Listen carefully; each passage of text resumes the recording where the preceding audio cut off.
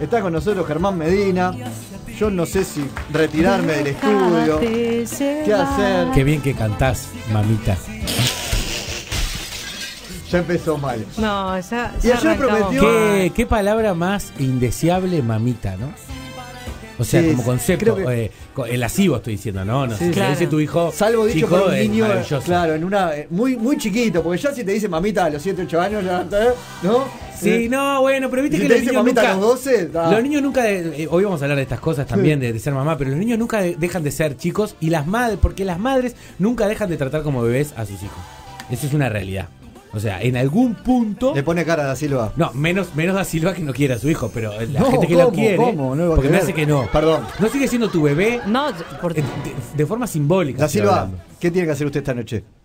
esta noche eh, estoy de chofer de mi hijo. Ya está. Lo lleva a trabajar no me- al no me- campeón del no- siglo no y, lo, y lo va a buscar después.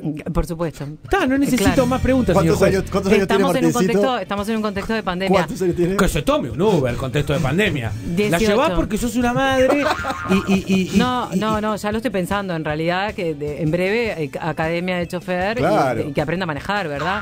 Porque mi primer acto de libertad con 18 pirulos que fue sacarme la libreta. Perdí el examen ese día, ¿no? Igual. Pero era una emoción cuando nosotros. ¿Perdiste el examen cuál? ¿El práctico o el teórico? El práctico. ¿El práctico qué pasó? ¿Qué sí, hiciste? por kamikaze. Porque, Por- pero- y, eh, con, con todo respeto de tu edad, ¿no? Hace No. 30 años eran otras cosas los No, exámenes. pero ¿sabes Hace por 30 qué? años te hacían dar vuelta a la manzana. la manzana y. ¡A No, pronto! un repecho, como el mucho. día de mi cumpleaños, pero ¿sabes por qué perdí el examen? Porque ¿Por qué? Pero un botón, el, el inspector, un botón. No le diga así. Sí, sí, botón, chancho, botón. Eh, No debe estar vivo, o sea, no, por supuesto. Qué duro. No, pero bien. Que sí. Pero bien, cabrón. 30 años, No. capaz que el tipo tenía 40, tiene 70, Germán, no mates a la gente así. Pero- Bueno, bueno, bueno. Pero te, eh, te voy a contar cuál fue el motivo. A ver. Sí. Si el peatón baja el cordón, Sí. tiene preferencia. En la esquina. Algo en la esquina, claro. Algo que en, en la vida Pará, yo cotidiana. voy, a- yo voy un poco más, a- más atrás. Sí. Todos los peatones tienen preferencia en todas las calles de Montevideo, en absolutamente todas, a no ser un semáforo. Pero en todas las calles de Montevideo un peatón tiene preferencia. Tiene preferencia, pero, pero si el peatón. Aún no bajando la, la no, la no, pero si el peatón bajó la, la vereda, ya tiene preferencia. Cantó Pido. Bajó la vereda, Pido. Pido. No, si ¿Y vos acordás, tenés- ¿cuál es la diferencia? Si bajó la vereda, usted comete la infracción. Claro. Si no bajó la vereda, no, pero el peón no estaba para cruzar, Exacto. estaba ahí arriba de la vereda. El peón, dijiste. El, el- el peón. El peatón no estaba para cruzar, estaba ahí arriba. Era un peón justo el que estaba. Eso ya es más de, de, de clases sociales, No ¿no? está- no ya sos el ahí. rey, el peón. Claro, pero lo Claro. perdí. Por eso, porque eh, no lo vi al peatón. Yo perdí la prueba de manejo una vez. Ah, también. Porque También. atropellé a una persona que caminaba por la No, acera. mentira. Lo atro- No. Ah, pero, pero ganas no te faltan. ¿Vos viste lo que es eso? ¿Vos viste, vos- Ya- vos ya viste hablamos de el nivel de impunidad No. Enferma Yo que tiene la gente que- pasa por una, por una cebra? Yo bajo la ventanilla. Yo soy de la que bajo la ventanilla y, le, y grito. ¿Lo apura? Por supuesto, mirá que no es una pasarela, ¿eh? Mirá que, Ah, pero aparte, al grito de mirá que no es una pasarela. Tan, taranana, taranana. No, no, pero de verdad, hay gente que cree que se le. Pero, pero es una alfombra roja que se le coloca ahí. Claro. mirala la de Telemundo. Pero además te hacen contacto, sí, sí, la de Telemundo, te hacen contacto visual como diciendo, ¿qué pasa? ¿Estás apurado, Gil? ¿Eh? ¿Viste que hacen contacto visual, no? Hay- hay- Como que caminan en una pose de, Yo de, creo que eh, hay un- inmortalidad. Una pequeña ¿Cómo? venganza del peatón. Que se siente todo el tiempo discriminado, como vos decís, en el tránsito. Y no le digamos a los peatones que pongan un pie en la clase y crucen porque se lo van a llevar puesto. Sí. Esa es la No realidad le esa esquina. recomendamos eso. Y entonces tiene ese pequeño momento de, de la venganza. De, ah, mirá, vos que todo el día te haces el vivo con el auto y yo tengo que ir caminando. Claro, pero- Ahora bancátela. Siento que hasta enlentecen su paso cuando Sí, sí, sí, como que entran en una en una nebulosa ahí de, de camino lento. Y si van mirando el teléfono. Y bueno, Ah, no, bueno, ahí no se ha ese, atropellado. ese es el peatón que. eh, 10 puntos. 10 puntos si, si lo, si lo 10 puntos de sutura. No, te dan 10 puntos si vas con el teléfono. 10 puntos a él. No, no, vamos a tener cuidado Ah, con ¿te lo da que el decimos. puntaje por No, atropellar a un peatón? claro, No, es un buen como un mensaje que estamos dando. estamos jugando, Carcelio, Estamos jugando. Carsolio, dejate de jugar. Bueno, está bien, cada uno No tenemos un micrófono ¿Cuánto vale una vieja? un micrófono ¿Cuánto vale una vieja? No, Germán. Con la bolsa de los mandados. Mirá lo que abrieron, mirá, mirá la ventana que abrieron. ¿Cuánto vale? ¿Cuánto vale? Vamos a volver. Vamos Con a un bastón, ¿cuánto vale? No. No, y con, con la bolsa de los ma- con el carrito. ¿Cuánto vale? O sea, Yo, eh, nada, no importa. Listo. Hay gente que hace barbaridad que pone el carrito de los, de- del bebé a- pa- pa- adelante. O, No, eso no, no. Eso es una locura. ¿Cuánto Bueno, vale con carrito? No, no, No, no, no, no. No llego, no llego. Vamos, este, en este espacio que hemos dado a llamar ya desde el día de ayer y, y lo vamos a llamar y lo vamos a, a decir, Sí. porque, porque también somos agente familiar, somos agente inmobiliario, somos agente de salud, somos agente educativo y también agente de construcción familiar. ¿Eh? Eh, el, el domingo es el Día de la Madre, este, en esta, en esta cosa eh, aleatoria y totalmente eh, nada, que se les ocurrió comercialmente. Lo que llamamos eh, es a- al criterio de los hijos y eh, le damos a llamar al Día de la Madre, este, andad, si me querés, andate de acá. Que sería como el- lo que dijimos ayer y lo que vamos a repetir hoy. Acá pregonamos que los hijos, si quieren a sus madres, se retiren del lugar donde esté su madre. O, en todo caso, que la madre se retire. La madre debería elegir dónde pasar su licencia por el Día de la Madre. Entonces, esto es otra, pro- una- otra propuesta que vamos a, a- a elevar Sí. al, al- al- no sé a dónde se eleva. Al Sí. gach. Al gach, al gach, al gach. Este, vamos a elevar al gach. Este, vamos al gach. al gach, vamos a elevar la propuesta al gach. Y, y la propuesta es eh, licencia por madre. Pero de verdad, ¿por qué? Eh, eh, eh, qu- quiero, porque yo siempre que tiro una propuesta trato de buscar una coherencia. Sí. Eh, cuando una madre, eh, eh, eh, con todo su derecho, tiene un bebé, se le da licencia maternal, ¿verdad? Sí. ¿De cuánto estamos hablando? ¿Cuánto tiempo? Son tres meses, ¿no? Como tres o cuatro meses, Sí. estamos hablando, y después empieza un medio horario, o sea, hay una flexibilidad Tres meses más de medio horario. Claro. A ver, la realidad es que a la madre le parece una buena idea eso los primeros días. Cualquiera que haya sido madre sabe que después es una tortura eso. Ojo que no de acuerdo, es una licencia. De acuerdo a la ley vigente se puede eh, compartir esa licencia, ¿no? El no, no, padre también debería puede. haber una ley vigente que diga que la madre se puede ir de ahí. Esa es la ley que estamos pregonando, la ley que estamos intentando elevar. Porque la madre acepta estar tres meses con el botija mano a mano porque los primeros días está con los efectos de la anestesia. Entonces no se da cuenta que lo que va a vivir es una tortura. Es un momento Cuando se le va, eh, callate la boca, cuando se le va el efecto de la anestesia se quiere ir del lugar. No. Pero no se le permite. ¿Por qué? Porque parece que hay abandono de hijo. Bueno, la madre, hijo. lo que más quiere, yo entiendo que por no un sé. rato quiera querer tomar aire, lo entiendo, pero lo que más quiere en el mundo es estar con esa criaturita que tuvo durante Los nueve meses en la dos panza y que días, ahora porque es la salió. novedad. Eh, ya lo hablamos acá, es como comprar un televisor nuevo, como comprar un celular. Tenés un celular nuevo y le querés poner, le querés poner el vídeo, le querés poner la cosita de atrás porque ay que no se me va a romper porque es nuevo. Eso pasa con la vida, es el paralelismo eh, más eh, grosero que van a escuchar, pero el más real. Porque yo estoy podrido que me escriban, ay, lo que habla de su hijo. ¿Es verdad Sí, o no es verdad lo que estoy diciendo? te quería sacar la patria potestad directa. Al principio, ¿no es la novedad como si fuera un celular? No es la novedad de que, ay, que, ay, ¿verdad que a los hijos se los agarra, se los agarra despacito al principio? Ay, ojo esto, ojo lo otro. Después ya lo cambia. ¿Vos viste cómo cambia una madre a un hijo después de que ya se dio cuenta que, que- que no lo quiere tanto? No, ¿cómo que si no lo quiere tanto? ¿Vos viste? ¿Nunca viste a una madre vestir a un botija? Le arranca los brazos, le levanta los brazos, lo arranca. A, a ve- a veces no le saca los botones de los costados, ¿viste que a veces tiene botones en la sombrera? Sí. Eh, que- Sí, ¿Viste que hay bodies y todo que tiene botones acá? Sí. Que si no se los sacás, y claro, y queda, y queda todo, todo el botija, queda todo tapado con el buzo. Pobre botija. parece que lo tenés, pa- parece que lo estás secuestrando a tu propio hijo. No, no, no es lo que veo en mi casa con, con, con la madre de mis hijos. Nunca quisiste. Y eso pero- que- vamos por el segundo, que ya imagínate si pasa eso con el primero después de unos meses, con el segundo como es, ¿no? Bueno, hay que ver cómo llegó el segundo. Bueno, escúchame. Pero no te- no- nunca te pasó con tu bebé o algo que lo- un año, un año y medio que no colabora, porque yo entiendo que a los seis meses no controla su, su cuerpo, no controla su cabeza, se le cae la cabeza para adelante. O sea, yo, yo entiendo, yo entiendo, yo entiendo. Que te, te molestó el gesto, pero es la verdad, es lo que pasa. Te- tenés que poner la mano en la nuca porque, porque se te va, pero se te, se te va cuál, pero escuchame, se te dobla como los sándwiches cuando se te pone medio podrido que se le dobla las puntas, ¿no viste?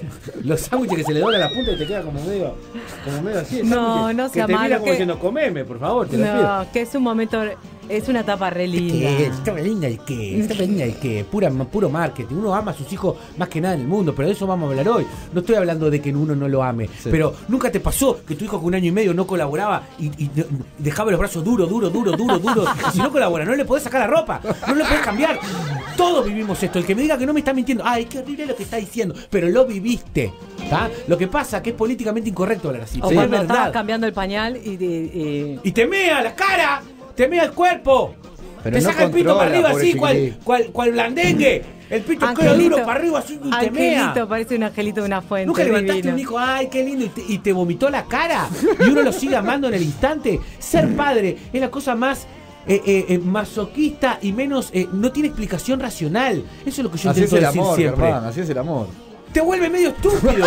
Eh, eh, eh, Puede ser, puede ser un poco. Acá nos llegan mensajes porque de esto la gente, como vos decís, no se anima a hablar mucho, pero sí se anima a hablar yo sí me animo. del tema del tránsito. Uno dice que en San José no respetan nada y un día se le subió al capó del auto, dice él, de una vieja fruncida y le dije, ¿no ves la cebra, mija? Correcta. ¡Ah!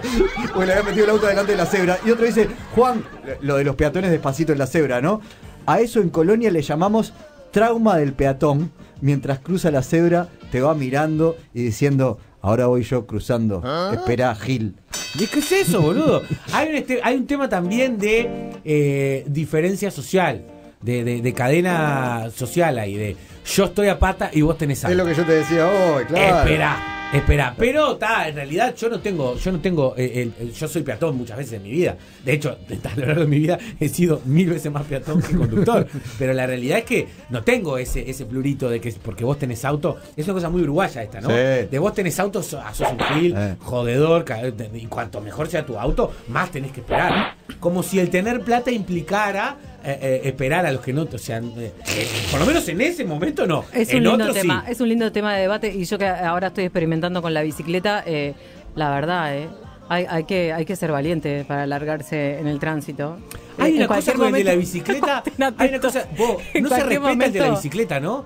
Porque el No, de la bicicleta, el problema nada. que tiene la bicicleta es que puede morir en el instante porque no tiene un paragolpe de nada, Sí. pero va bastante rápido al mismo tiempo. Eh. ¿Me explico? Y a su vez tiene como un... O sea, va a una velocidad casi de auto, Eh. de 30, vos 25 Sí, kilómetros por hora sí, puedes sí. hacer una bicicleta sin problema, 30 también. Sí. Entonces va rápido, puede morir en el instante, entonces jode la bicicleta también, porque porque se te cruza, te aparece por el costado, te rebasa por la derecha, ¿entendés? Sí, no, y lo que dice Fablet, se llevan puestas gente, se lo llevaron puesto en la rampla el otro día, la bicicleta, que puede ser eh, el que choca o el que es chocado, y a su vez tiene esa dualidad donde pretenden que se lo trate como otro vehículo del tránsito, y no lo es. pero no respetan las normas de tránsito, te Exactamente. mete contramano arriba de la tiene la velocidad como para hacer como para tener la seguridad de una moto eh, que, que- que no es tanta pero bueno el casco cosas y, y ni hablar del auto pero pero no tiene todo eso pero tiene la misma velocidad entonces eh, ha revoleado vieja la bicicleta eternamente o sea tiene una de cada cinco caderas quebradas en el país este, esto es un informe que hicimos la semana pasada Para- para Este, son de Claro, normal. Que, para, para volver al tema de las madres. sí Por favor, sí que Porque nos están quedamos, reclamando. le leo un mensaje que tiene que ver con eso. Sí. Usted decía mamita, qué horrible. Sí. El mensaje dice, bueno, hay peores palabras. Por ejemplo, que una mujer, que no es tu Sí. hija, obviamente, Sí. te diga papito. ¿Es peor el papito o es peor el mamita? Yo creo que la, la- eh, yo voy a decir la verdad, lo que pienso. Sí. Mamita es peor porque casi siempre es eh, eh, eh, eh, eh, promovido por un hombre, dicho por un hombre. Ajá. No hay cosa más pelotuda que un hombre eh, eh, eh, con el diminutivo sexual.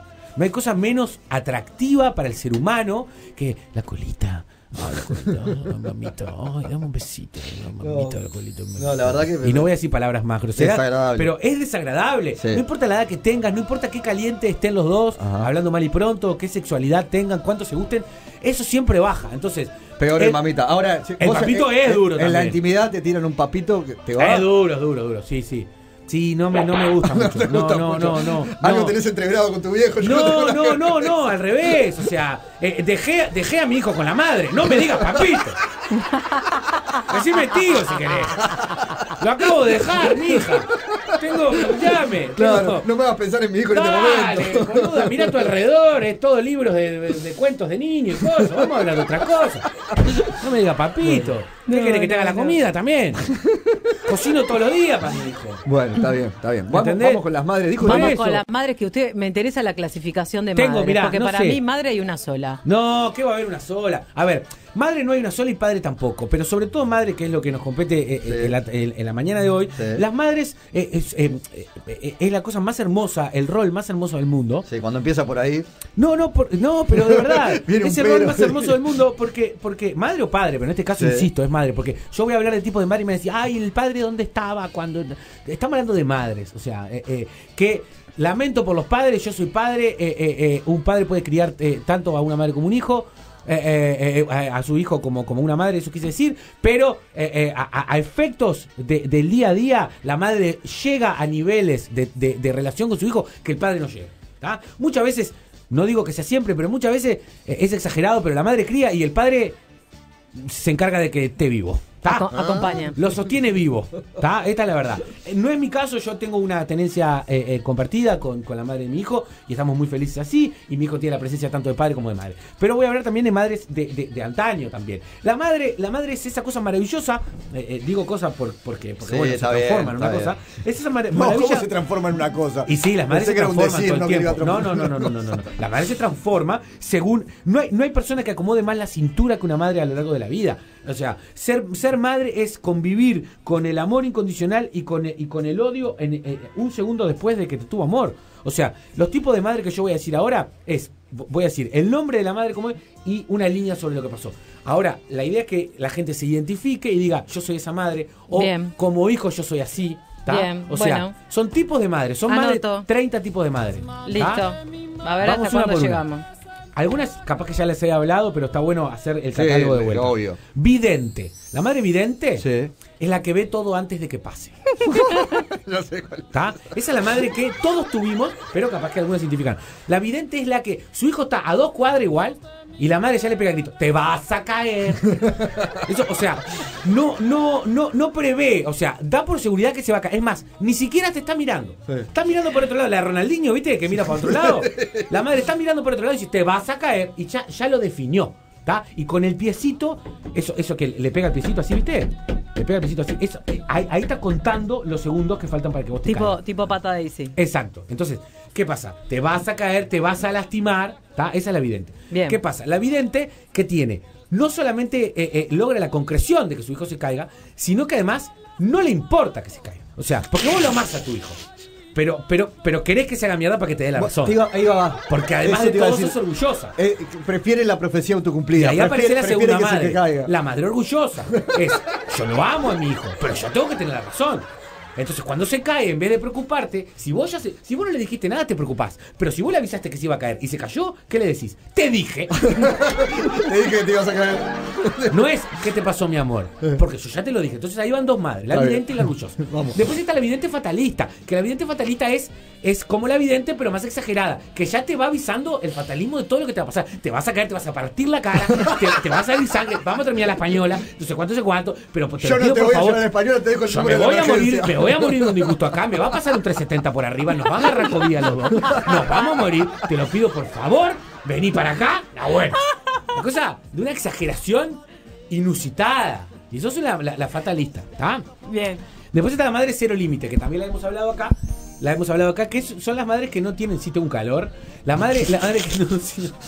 La- No, está- Iliana está prendiendo el aire, es radio, no se entiende mucho por qué, por no, no qué te calor. Vos Perdón, escuchá. Estoy intentando, pero. Está intentando perder el aire, sí. La- la- bueno, la madre, la madre que no sabe de tecnología es- es- vendría, siendo, vendría siendo esa, ¿no? La madre 2021, ¿no? Que tiene hijos que saben más, claro. Claro, porque antes nosotros le pedíamos, ¿te acuerdas cuando nosotros éramos chicos le pedíamos todo a nuestros padres? ¿Quién, ¿Quién pidió ayer que te ayudara cuando estabas cambiando el aire acondicionado? ¿Te acordás? Alguien dijo ayúdenla. La vieron ahí trancada y alguien dijo ayúdenla, ayúdenla. Fue el director de la El radio. director de la radio, ayuden a la La vio señora. trancadita mirando los botones del aire acondicionado. Ayuden a la señora. Y dijo ayuden a la señora. Ayuden a la señora, le faltó decir. Vos, volviendo a este tema. No, no, no le faltó decir, eso. lo dijo. Ah, lo dijo. Vos, eh, eh, esto que hablas de la Da, no tecnología tenés ahora. que sacarte toda la ropa, vos. No. Vos, hablando de la tecnología, es esto, ¿no? Antes nosotros cuando éramos chicos le pedíamos todo a nuestros padres, a nuestra Sí, madre. sí. Nuestros padres arreglaban todo, con un destornillador, con una cosa, resolvían todo. Ahora es al revés.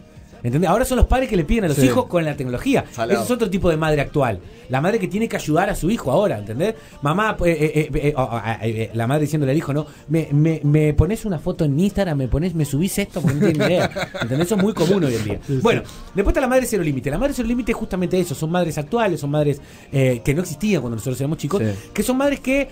Salvo la mía. no, ¿La tuya era cero límite? ¿Dejabas cualquier cosa? ¿Sí? Bueno, por ejemplo, está.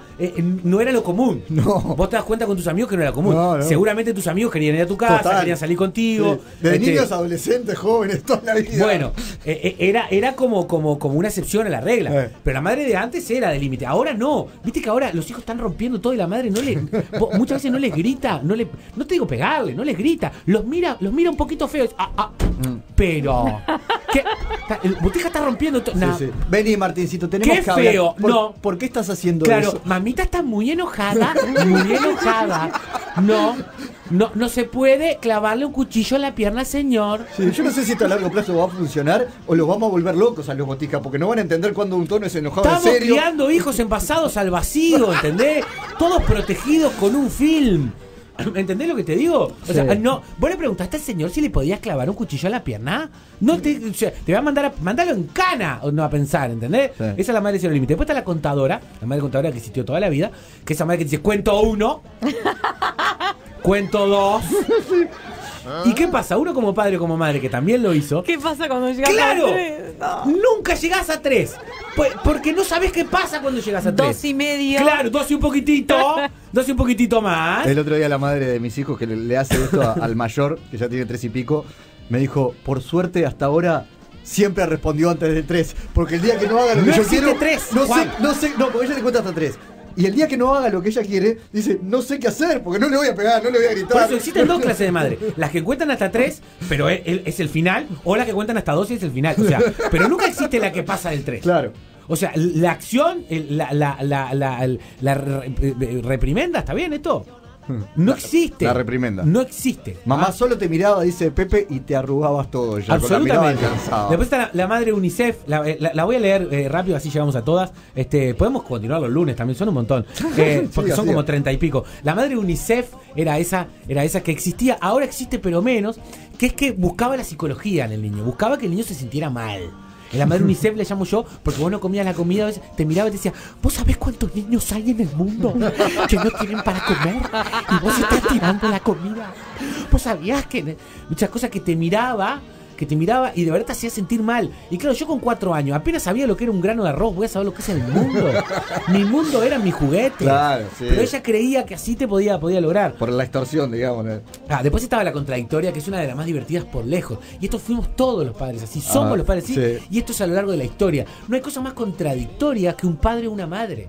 Esa, esa cosa, eh, eh, eh, hay frases que vos no puedes creer. Cerrá la boca, cerrá la boca y comé.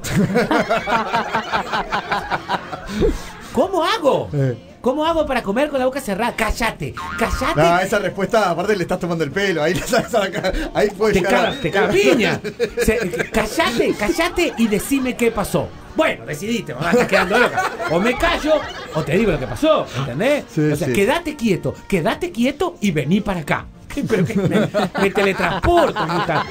Me te- eh, esa, o, eh, después existen las versiones mucho más rústicas, que es que las madres pretenden, o, eh, o padres, pero en este caso, insisto, estoy hablando Sí. de madres, que pretenden que su hijo eh, de- deje de gritar, pero se lo dicen gritando.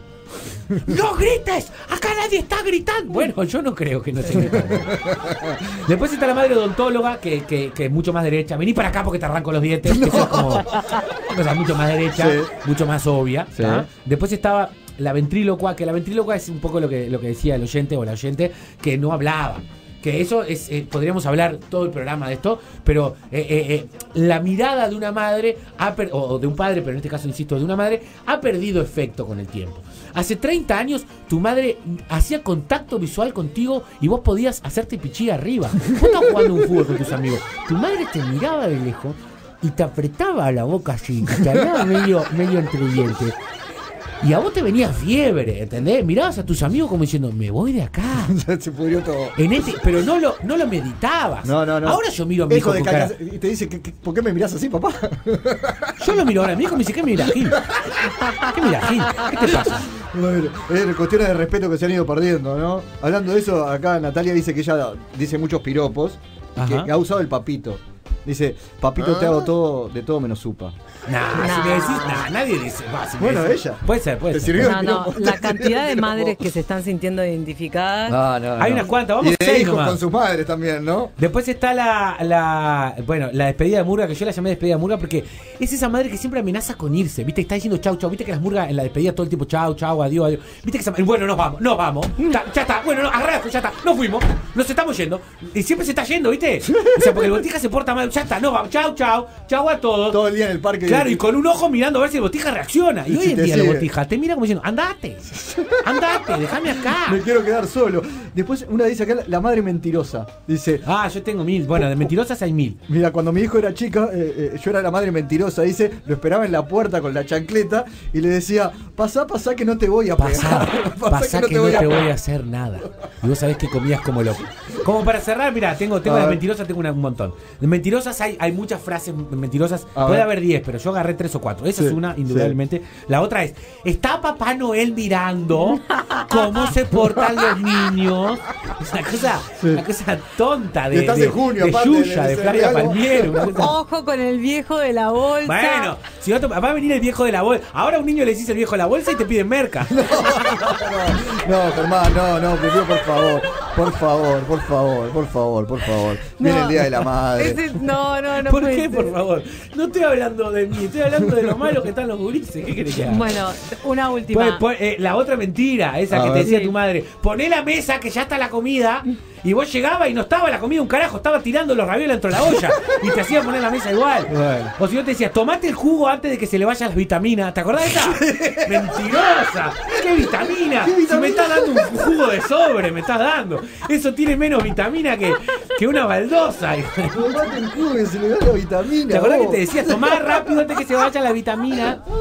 Bueno, nos vamos, buenísima vamos. La madre es lo más grande que hay. La madre es lo más grande que hay. Sí, ¿Alguna sí. madre para despedirnos? No, y hay mil, yo qué sé. Elegí una. Eh, este, pará. Bueno, el lunes- el lunes puede volver. La empresaria que era derecho también. La empresaria, vení para acá si no te voy a poner una zapatería en el culo. Qué animal. Gracias, Germán. Vamos Saludos. Las cosas en su sitio.